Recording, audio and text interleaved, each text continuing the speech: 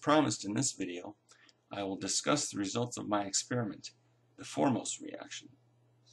I have to admit right away that I did not research the UV absorbance spectrum of the sugars as thoroughly as I should have. And so I have egg on my face in publishing this video.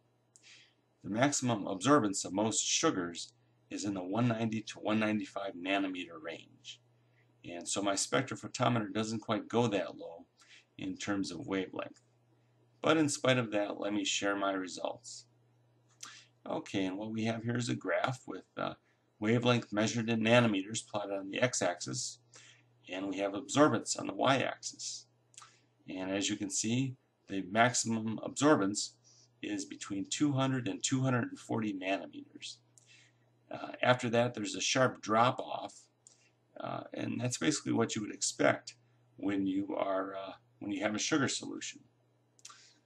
And so, uh, but the thing about it is, you don't really know that it's that you actually created sugars unless you find another way to test it, because that uh, 200 to 240 nanometer uh, peak could be the result of one of the reactants.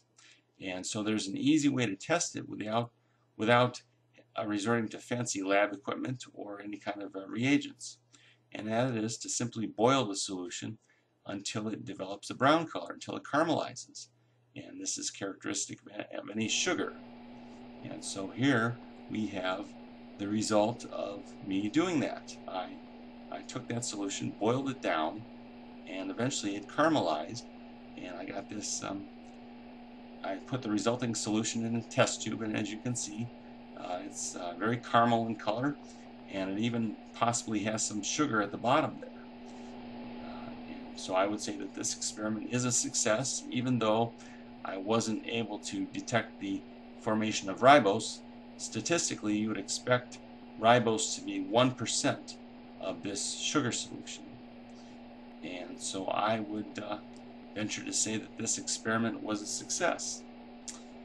Uh, and that's all.